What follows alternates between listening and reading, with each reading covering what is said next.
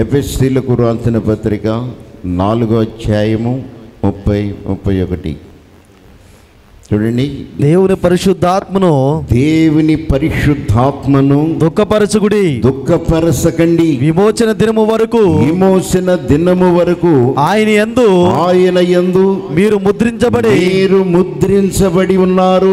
సమస్తమైన ద్వేషము సమస్తమైన భేషమును కోపము క్రోపము క్రోధము క్రోధము అల్లరి అల్లరి దూషణ దూషణ సకలమైన దుష్టత్వమును సకలమైన దుష్టత్వమును మీరు విసర్జించుడి. మీరు విసర్జించండి. ఒకని ఎడల ఒకడు. ఒకని ఎడల ఒకడు. దయగలిగి దయ కలిగి. కరుణా హృదయములు కలిగి. కరుణా హృదయులై. క్రీస్తునందు. క్రీస్తునందు. దేవుడు మిమ్మల్ని క్షమించిన ప్రకారము. మిమ్ములను క్షమించిన ప్రకారము మీరు కూడా ఒకరినొకరు క్షమించుడి. ఒకరిని ఒకరు క్షమించుకొనండి. దేవునికి స్తోత్రం. హల్లెలూయా. దేవుడే ఉన్నారు చెప్పండి. పరిశుద్ధాత్మను దుఃఖపరచు మీరు దుఃఖపరచకండి. మీరు విమోచన దినము వరకు ఆయన ఆయన యందు మీరు ముద్రించబడి ఉన్నారు. ఉన్నారు. దేవుడు అంటున్నాడు విమోచన దినము అనేది ఒకటి ఉన్నది. మీ మీద ఆయన ముద్ర వేసి ఉన్నాడు. ఏ ముద్ర చెప్పండి? మీ మీద మీరు తప్పక మిమ్ములను విమోచించేవాడను నేనే. దేవుడు అంటున్నాడు నేను తప్పక విమోచిస్తాను. కనుక యేసుక్రీస్తు మిమ్ములను ఏ రీతిగా పాపము నుండి శాపము నుండి విడిపించి నా కుమారుడా నా కుమార్తె నేను నిన్ను ముద్రించి ఉన్నాను. నీవు నా కుమారుడువు నీవు నా కుమార్తెవు. కనుక మీలో వేలనివి ఏమని చెప్పండి? సకల విధమైన సమస్తమైన భేషము కోపము క్రోధము అల్లరి దూషణ సకల విధమైన దుష్టత్వమును మీరు విసర్జించండి. ఒకని ఎడల ఒకడు కరుణా హృదయులై క్రీస్తు నందు దేవుడు మిమ్ములను క్షమించిన ప్రకారం మీరును ఒకని ఒకరు మీరు కూడా ఒకరిని ఒకరు క్షమించుడి. క్షమించుకునండి. క్షమించుకునండి. మీ మీద ఒకరు ఎవరికైనా ఒకవేళ భేషంగా మాట్లాడినా వారిని క్షమించండి. దేవుడు మీకు ఇచ్చినది ఆయన ఏమి మిమ్ములను ఆ పాపపు క్రియలలో నుంచి భేషము నుంచి అసూయలో నుంచి అక్రమాలలో నుంచి మిమ్ములను దేవుడు విడిపించి ఉన్నాడు. మరలా వాటిని మీలో ఏలనివ్వకండి. వాటిని మీలో మరలా వాటిని మీలో మీ అవయవాలలో మీ శరీరాలలో మీరు మీ హృదయ తలంపులలో మీలోనికి అది ఆ భేషమ కోపము సాతాను క్రియలో రానివ్వకండి. వాటిని మీరు భేషించండి అని దేవుడు అక్కడ తెలియపరుస్తున్నాడు. సామెతల గ్రంథం ఒకటో అధ్యాయం ముప్పై చూడండి. నా ఆలోచన విననొల్లకపోయేరి నా గద్దింపును వారు. వారు కేవలము తృణీకరించిరి. కాబట్టి కాబట్టి వారు తమ ప్రవర్తనకు తగిన వారు తమ ప్రవర్తనకు తగిన ఫలమును వారు అనుభవించెదరు. తమకు ఎక్కసమగు వరకు తమ ఆలోచనలను ఆలోచనల వారు అనుసరించెదరు. అనుసరించెదరు. తమ ఆలోచన విననొల్లక. ఏమన్నా చెప్పండి? ఆ ఆలోచన విననొల్లకపోయేరి నా గద్దింపును వారు కేవలము తృణీకరించెరి. కాబట్టి వారు తమ ప్రవర్తనకు తగిన ఫలమును వారు అనుభవిస్తారు. తమకు ఎక్కసమగు వరకు తమ ఆలోచన ప్రకారముగా వారు ప్రవర్తించి ఉన్నారు. దేవుని మాట వినని వారు దేవుడు ఎంత గద్దించినా విననొల్లని వారు. దేవుడు అక్కడ ఏమన్నారు చెప్పండి? నా ఆలోచన వారు విననొల్లకుండిరి నా గద్దింపును వారు కేవలము తృణీకరించిరి. కాబట్టి వారు తమ ప్రవర్తనకు తగిన ఫలము తప్పక వారు అనుభవిస్తారు. కనుక తమకు ఎక్కసమగు వరకు కూడా తమ ఆలోచనలు అనుసరించి వారు ప్రవర్తిస్తున్నారు. వారికి మరలా ఎక్కసమయ్యేంత వరకు బాధ కలిగేంత వరకు కూడా దేవుడు ఏ పని చెయ్యమని వారికి చెప్పారో ఆ పని చెయ్యకుండా తమ ఆలోచన ప్రకారంగా నడుస్తున్నారు. వారికి ఎక్కిసమయ్యేంత వరకు వారిలో బాధ కలిగే అంతవరకు వారిలో ఆ బాధను కలిగే అంతవరకు కూడా వారు ప్రవర్తిస్తూనే ఉన్నారు. అని దేవుని లేఖనము తెలియపరుస్తుంది. యోపు గ్రంథములో చూడండి ముప్పై మూడో అధ్యాయము పద్నాలుగు పద్దెనిమిది వచనాలు చూడండి. దేవుడు ఒక్కమారే పలుకును. దేవుడు ఒక్క మారే పలుకును. రెండు మార్లు పలుకును. రెండు మారులు పలుకును. అయితే అయితే మనుషులది కనిపెట్టరు. మనుషులు అది కనిపెట్టరు. మంచము మీద మంచం మీద కునుకు సమయమున కునుకు సమయమున గాఢ నిద్ర పట్టునప్పుడు గాఢ నిద్ర పట్టినప్పుడు కలలో రాత్రి కలుగు స్వప్నములో రాత్రి కలుగు స్వప్నమందు నరులు గర్విష్ఠులు కాకుండా నరులు గర్విష్ఠులు కాకుండాట్లు తాము తలంచిన కార్యము వారు తాము తలంచిన కార్యము వారు మానుకొను చేయునట్లు గోతికి పోకుండా కోతికి పోకుండా వారిని కాపాడునట్లు వారికి కాపాడునట్లు కత్తి వలన నశింపకుండా కత్తి వలన వారు నశింపకుండా వారి ప్రాణములను తప్పించుకున్నట్లు వారి ప్రాణమును తప్పించుకున్నటకు ఆయన వారి చెవులను ఆయన. వారి చెవులను తెరవ చేసెను. వారి కొరకు ఉపదేశం వారి కొరకు ఉపదేశాన్ని ఆయన సిద్ధపరిచి ఉన్నాడు. దేవునికి సోదరము హల్లెలూయా. హల్లెలూయా. దేవుడు ఏమన్నారు చెప్పండి? దేవుడు ఒక్క మారు పలుకును రెండు మారులు పలుకును అయితే మనుష్యులు అది కనిపెట్టరు. మంచం మీద కునుకు సమయమున గాఢ నిద్ర పట్టు సమయమున రాత్రి కలలో స్వప్నమందు నరులు గర్విష్ఠులు కాకుండా చేయునట్లు తాము తలంచిన కార్యము వారు మానుకొను చేయునట్లు గోతికి పోకుండా వారిని కాపాడునట్లు కత్తి వలన వారు నశించకుండా వారి ప్రాణము తప్పించున్నట్లు వారి కొరకు దేవుడు ఏం చేస్తున్నాడు చెప్పండి ఆయన వారి చెవులను తెరవ చేయును. వారి కొరకు దేవుడు ఏం చేస్తున్నాడు చెప్పండి ఉపదేశాన్ని సిద్ధపరుస్తున్నాడంట. వినని వారికి కలలో మాట్లాడిన ఆయనరు వాక్యంతో మాట్లాడిన ఆయనరు ఏం చేస్తున్నారు చెప్పండి? వారికి ఎక్కసం అయ్యేంత వరకు కూడా వారి క్రియలు ఆగనే ఆగవు. వారికి ఎక్కసము కలగాలి ఆ సావాసం. అలాగే వారు చేసే ఆ చెడు పని వారికి ఎక్కసమయ్యేంత వరకు కూడా దేవుని గద్దింపుకు వారు లోబడరు. కనుక దేవుడు ఎంత గద్దించినా ఎంత మాట్లాడినా దేవుడు వారికి ఎందుకంటే వారి మీద వాడి వారి ప్రాణము గోతికి పోకుండా వారిని కాపాడుట కొరకు ఉపదేశాన్ని సిద్ధపరిచిన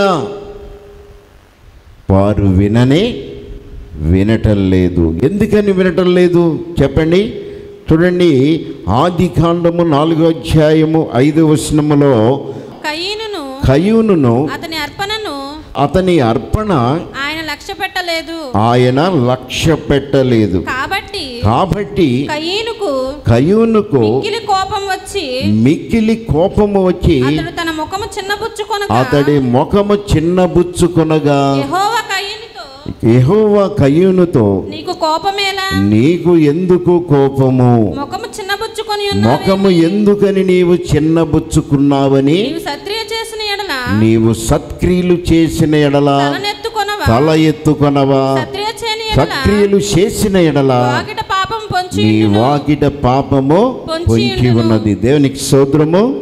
అలా కయ్యునుతో దేవుడు ఏమంటున్నారు చెప్పండి? కయ్యును నీవు సత్క్రియలు చేసిన ఎడల నీవు తల ఎత్తుకొనవా? నీ వాకిట పాపము పొంచి పొంచి ఉన్నది. కనుక నీవు ఎందుకు ముఖము చిన్నబుచ్చుకున్నావు నీ ప్రార్థన సరైంది కాదు నీ నడకలు సరి అయినవి కాదు. నీ ప్రార్థన నా సన్నిధిలో సరి అయినదిగా కనపడటలేదు.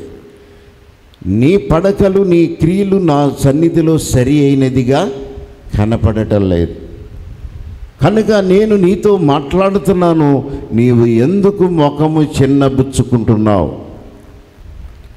ఏబేలు మంచి బలి అర్పించాడు మంచి ప్రార్థన చేశాడు. అతని అర్పణ నేను అంగీకరిస్తున్నాను. కయ్యను నీవు ఎందుకని నీ ముఖము చిన్నబుచ్చుకుంటున్నావు? ఎందుకు నీ మనస్సులో భేషాన్ని పెట్టుకుంటున్నావు? నేను నిన్ను బతికించాలని కాపాడాలని కదా నేను ముందుగా నీతో మాట్లాడుతున్నాడు. దేవుడే మాట్లాడుతున్నా. కయ్యను హృదయం ఎలా ఉందో చెప్పండి. ముఖము చిన్నబుచ్చుకునేవాడిగానే ఉన్నాడు. దేవునికి స్తోత్రము. అలా మారాడా? దేవుడే మాట్లాడినా మారాడా? మారలేదు. మారకుండా ఏం చేశాడు చెప్పండి? కయ్యూను తన తమ్ముణ్ణి చంపివేశాడు. దేవునికి స్తోత్రము. ముఖాన్ని చిన్నపుచ్చుకున్నాడు కోపం తెచ్చుకున్నాడు. దేవుడే మాట్లాడినా వినకుండా తన స తమ్ముడిని ఏం చేశాడు చెప్పండి? చంపివేశాడు దేవునికి స్తోత్రము. అలా ఎందుకు చిన్నపుచ్చుకుంటున్నావు దేవుడే నీతో మాట్లాడుతున్నాడు. నీ ప్రవర్తన బాగోలా నీ ఆలోచన బాగోలా నీ అర్పణ నా సన్నిధిలో బాగోలా. నీవు సరి చేసుకో.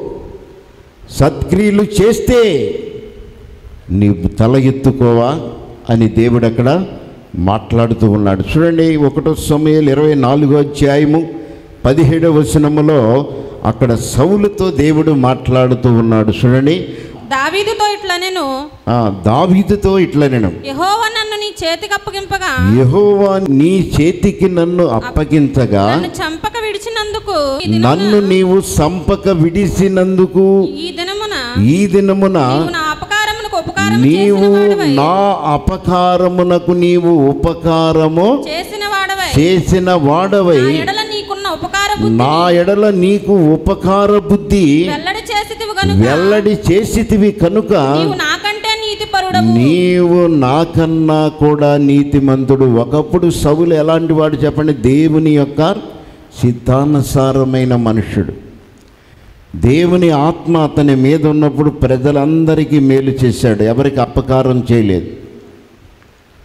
యేసు ప్రభు వారు ఈ లోకంలోకి ఎందుకు వచ్చాడు చెప్పండి? అందరికీ మేలు చేయటానికి వచ్చాడు.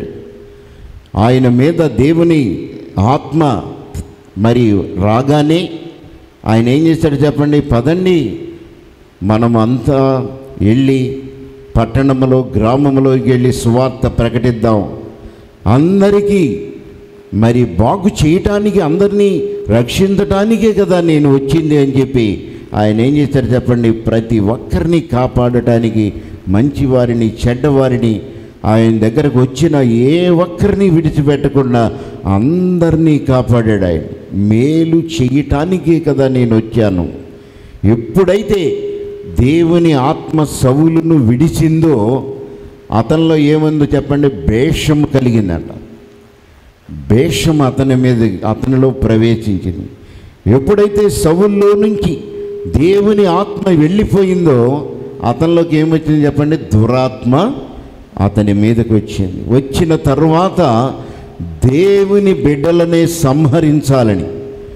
దావీదు నా హృదయానుసారుడు నేను చెప్పింది నీవు చేయలేదు కనుక నేను నీ యొద్ద నుండి నీ రాజ్యమును తీసివేస్తున్నాను నీ రాజ్యములో నీ పొరుగువాడికి ఇస్తున్నానని చెప్పి దేవుడు అతనితో మాట్లాడాడు. ఎందుకని అతను భేషం?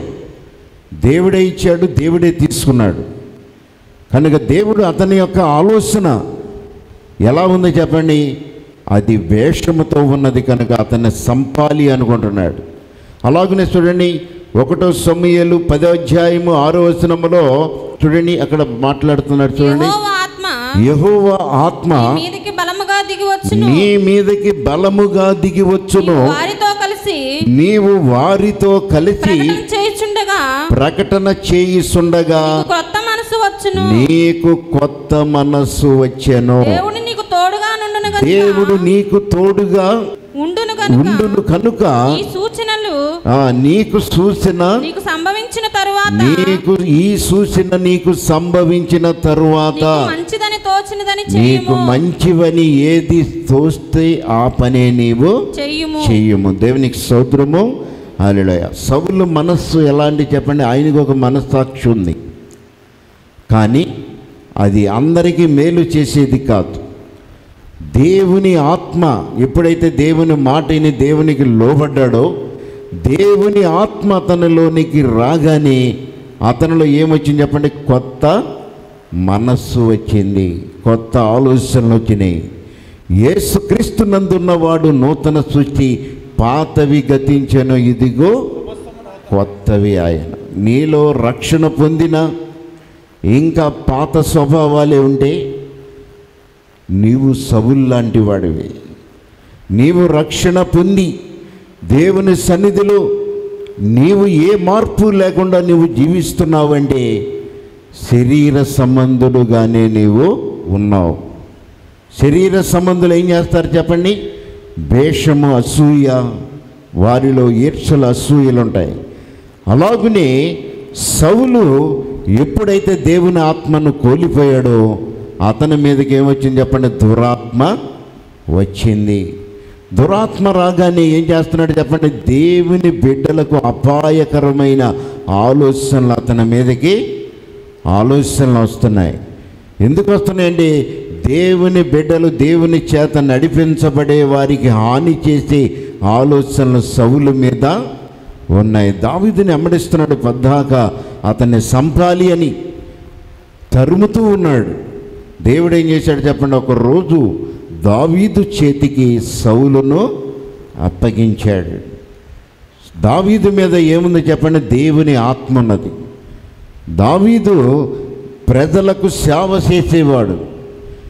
దేవుని ఆత్మ ఎవరిలో ఉంటుందో వారిలో ఏముంటుంది చెప్పండి. దయ కనికరము సమాధానము ఉంటుంది. వారు ఎవరికి కీడు చెయ్యని చెయ్యరు కనుక దావీదు ఆ విషయంలో ఆత్మ పూనుడు ఉన్నాడు కనుక ఆత్మ అతని మీద ఉన్నది కనుక ఇతని అభిషేకము పొందినవాడు ఇతనికి ఏ హాని మనము చేయకూడదు అని చెప్పి ఏం చేశాడు చెప్పండి?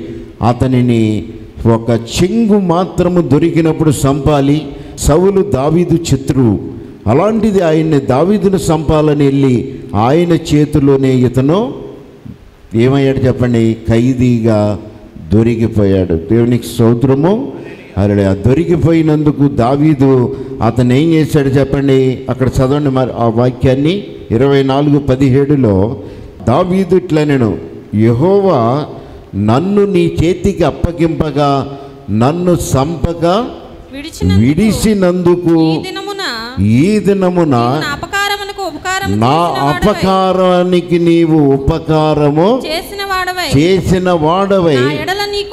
నా ఎడల నీకు ఉపకార బుద్ధిని వెల్లడి చేసితివి కనుక నీవు నాకన్నా కూడా నీతిపరుడవు. నీతిమంతుడు దేవునికి స్తోత్రము.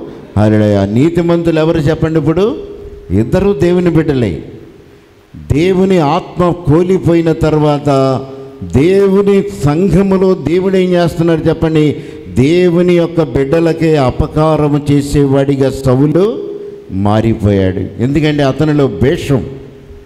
అతనిలో భేషం వచ్చేసింది అతనికి దేవుని బిడ్డలకు దేవుని యొక్క సన్నిధిలో ఎవరైతే వాడబడుతూ ఉన్నారో వారి మీద అసూయ భేషాన్ని పెట్టుకున్నాడు. పెట్టుకుని సవులు వారిని సంపాలని చూశాడు యాజకుల్ని చంపాడు అలాగే తన సొంత కుమారుని కూడా చంపాలని తన రాజ్య దాహము కొరకు చంపాలని ఆలోచన కలిగి ఉన్నాడు. దేవునికి సౌద్రము అలడయ కనుక వేషము దేవనారు చెప్పండి ఎఫ్ఎస్టీల్లో మనం అనుకున్నాం వేషము కక్షలు ఈర్చలు అసూయలను మీరు చంపివేయండి చంపకపోతే ఏం చేస్తుంది చెప్పండి? మీ ఆత్మీయ జీవితాన్ని పాడు చేస్తుంది. కనుక దేవుడు అక్కడ ఏమంటున్నారు చెప్పండి? రెండో దినవృత్తాంతములు ఇరవై ఆరో అధ్యాయము పదహారులో అక్కడ రాయబడిన మాట చూడండి. అయితే అయితే అతడు స్థిరపరిచిన అది తరువాత అయితే అతడు స్థిరపడిన తరువాత గర్వించి చెడిపోయెను. తన మనస్సున గర్వించి చెడిపోయెను. అతడు ధూపపీఠము మీద అతడు ధూపపీఠం మీద ధూపం వేయుటకై ధూపము వేయుటకై మందిరంలో ప్రవేశించి యెహోవా మందిరములో ప్రవేశించి ప్రవేశించి తన దేవుడైన యెహోవా మీద తన దేవుడైన యెహోవా మీద ద్రోహము చేయగా ద్రోహము చేయగా యాజకుడైన యాజకులైన అజరయు అతనితో కూడా ధైర్యవంతులైన యెహోవా యాజకులు ఎనిమిది మంది అతని వెంబడి లోపలికి పోయిరి. వారు రాజైన ఉజ్జీయను ఎదిరించి వారు రాజైన ఉజ్జియాను ఎదిరించి ఉజ్జియా ఉజ్జియా యెహోవాకు దూపం వేయుట. యెహోవాకు దూపము వేయుట దూపం ఆ, ప్రతిష్ఠింపబడిన అహరోనును సంతతి వారైన యాజకుల పనియే గాని. నీ పని కాదు. నీ పని కాదు. పరిశుద్ధ స్థలంలో నుండి బయటికి పొమ్ము. పరిశుద్ధ స్థలములో నుండి నీవు బయటికి పొమ్ము. బయటికి పొమ్ము. నువ్వు ద్రోహము చేసి ఉన్నావు. ద్రోహము చేసి ఉన్నావు. దేవుడనే యెహోవా సన్నిధిని. దేవుడైన యెహోవా సన్నిధిని నీకు ఘనత చేయదని చెప్పగా ఇది నీకు ఘనత కలుగదే కలగదని చెప్పగా.